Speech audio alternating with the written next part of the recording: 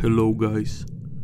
Today we're going to cover the twisted case of Jon Nodtveidt, a Swedish black metal musician, a raging Satanist, and a convicted murderer.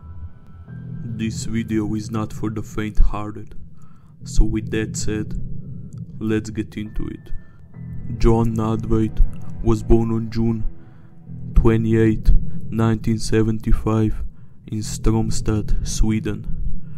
As a youngster, he was always interested in music, particularly metal. And in 1988, he formed his brainchild.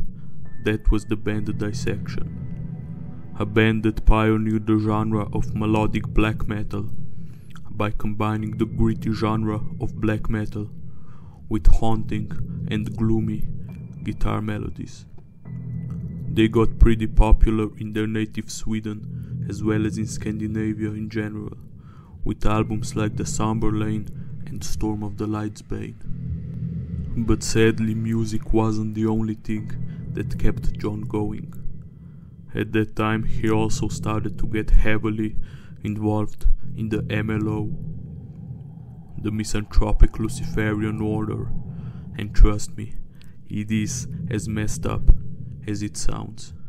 You see, the MLO believed that the only way that the world can function correctly is by total and absolute chaos.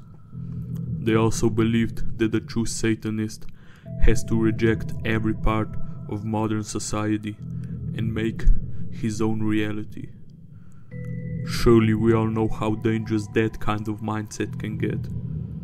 And oh boy, it got pretty dangerous. It was the warm night of July 21st, 1997, when a 22 year old Jon Nodtveidt was out drinking in various bars and pubs in Gothenburg with his friend, a 20 year old Vlad, an Iranian immigrant and the founder of the MLO, along with some other friends. When they were done drinking, their friends decided to call it a night and headed back home. But Jon and Vlad had other plans in mind. They decided to continue drinking and roam the Gothenburg city center when they passed the gay area. A man in his mid 30s approached them and, by their clothes, asked them if they were Satanists and wanted to know if they could talk to him about their cult. That man was a 38 year old Algerian immigrant called Joseph Ben Medour. They at first tried to push him off, but eventually gave in and the three started walking. Judging by his speech and movements, Jon and Vlad figured out that Medour was gay and felt super offended and disgusted. They stopped in Nodtveidt's apartment and Jon entered to grab a taser and a gun. The trio then headed out to the Keiller's Park to continue their discussion about Satanism and the MLO. When they arrived at the park, Vlad took the taser from Nodtveidt and tried to immobilize Medour. His attempt failed and Joseph ran away, to which Vlad took the pistol and shot him in the back. Oh, but he wasn't done yet. When Medour was on the ground, Vlad came closer and shot him in the head, execution style.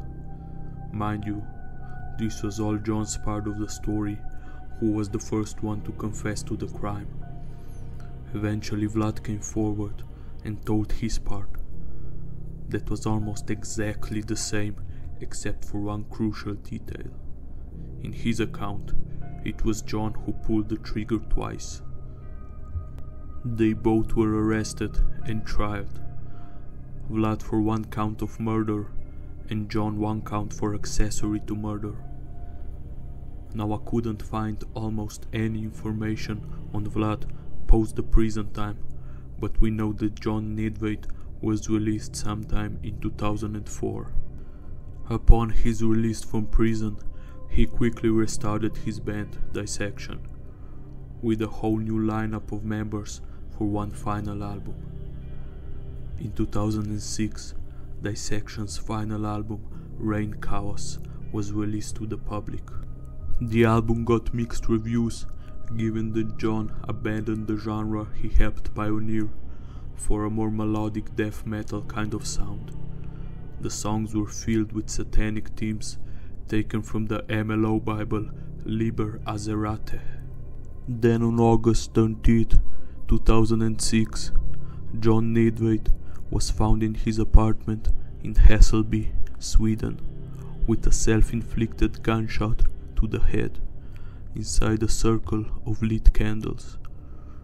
Early reports say that he was found with a copy of the Satanic Bible by Anton LaVey, but that rumor was disproven by his bandmate Set Teitan, who explained that Jon despised LaVey and his Church of Satan, and instead died with a copy of Liber Azerate by his side.